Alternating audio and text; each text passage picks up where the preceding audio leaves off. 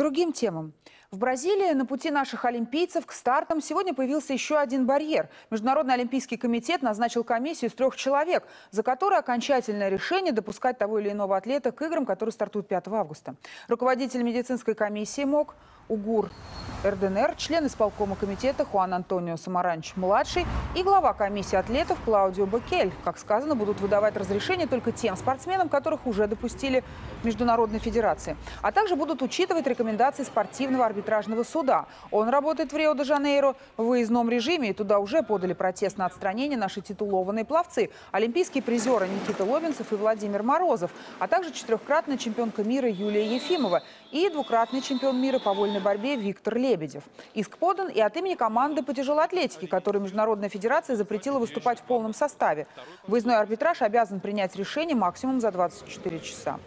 Оттуда пока нет новостей, но с заявлением выступил президент МОК Томас Бах в том духе, что для сборной России сделано все возможное. Вместе с тем комитет ожидает, что будет доработан доклад антидопингового агентства ВАДА, тот самый с обвинениями в адрес нашей страны. Эта тема, конечно, не единственная сейчас в Рио-де-Жанейро. Антон Вольский об атмосфере в городе. Шаг за шагом под палящим бразильским солнцем олимпийский огонь приближается к столице Олимпийских игр, городу Рио-де-Жанейро. Осталось уже меньше 100 километров, и в пятницу пламя должно будет зажечься на центральном олимпийском стадионе Маракана. Впрочем, не в каждом бразильском городе олимпийскую процессию встречают так же радостно, как здесь. Жители городка Ангра-дос-Рейс решили помешать эстафете, требуя повышения зарплат. Даже чуть не отняли у факелоносца олимпийский огонь. Полиция в ответ применила слезоточивый газ и даже резиновые пули. Впрочем, безопасность Олимпийского огня не единственная головная боль бразильских властей. Работники столичного метро обещают объявить забастовку прямо накануне открытия Олимпиады, что грозит обернуться хаосом для приезжающих в Бразилию 500 тысяч туристов. Город уже наводнили военные патрули, поскольку на полицейских нельзя положиться. Они тоже грозят выйти на улицы, требуя улучшений условий труда. Затраты на проведение игр, импичмент президента больно ударили по бразильской экономике. По некоторым данным, именно из-за нехватки финансирования Олимпийская деревня была сдана с чудовищными недоделками. Прибывшие в начале недели в Рио спортсмены из Австралии даже отказались селиться в эти номера. На фотографиях видно, что комнаты просто непригодны для жизни. Дыры в потолке, отваливающаяся штукатурка и повсюду строительный мусор. Нашим спортсменам еще повезло. Их корпус был построен раньше других. В номерах у вас нормально все? У нас пока просто грязно. Как будет дальше, посмотрим. Комнаты у вас нормальные? Австралийцы жаловались. Ну, как сказать? Ну, косячки есть, конечно. Жить можно. Ну, грязно очень просто. Ну, как после ремонта. Маловато чёрное, еще да. немножечко. Нет пола, крючков даже элементарных. Полотенце некуда повесить. Эти проблемы не могли остаться незамеченными международными олимпийскими властями. И сегодня, по некоторым данным, был отправлен в отставку бразильский чиновник, руководивший строительством. Впрочем, на пресс-конференции глава МОК Томас Бах сегодня предпочел эти проблемы обойти стороной и сосредоточился на очередных мерах по контролю за допуском российских спортсменов.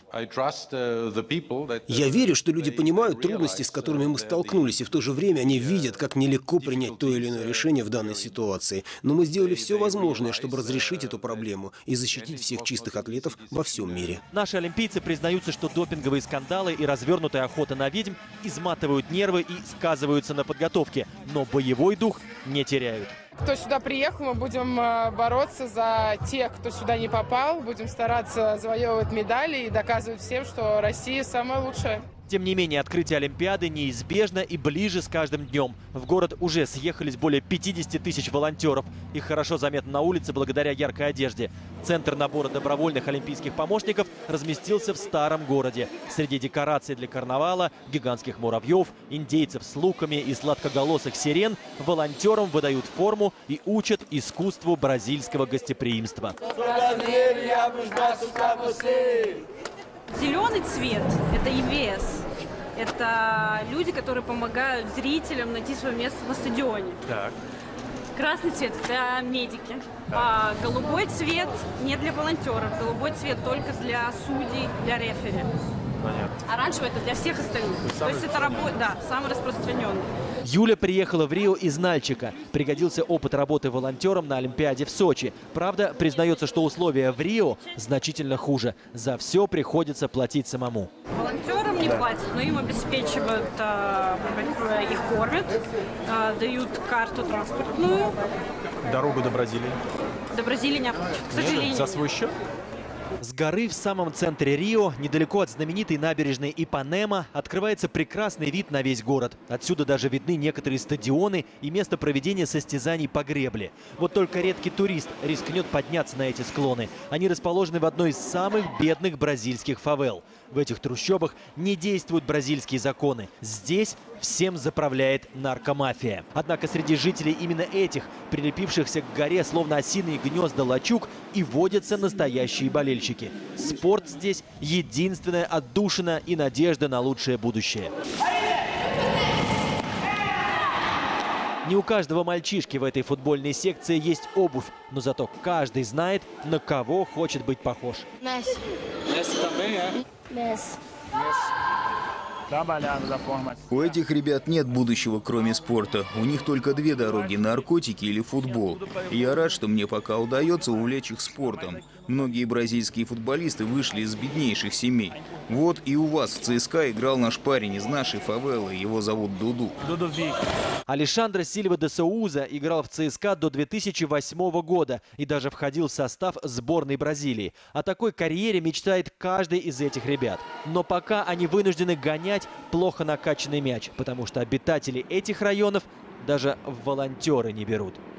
Антон Вольский, Юлия Заграничного, Дмитрий Волков и Никита Севастьянов. Первый канал. Рио-де-Жанейро.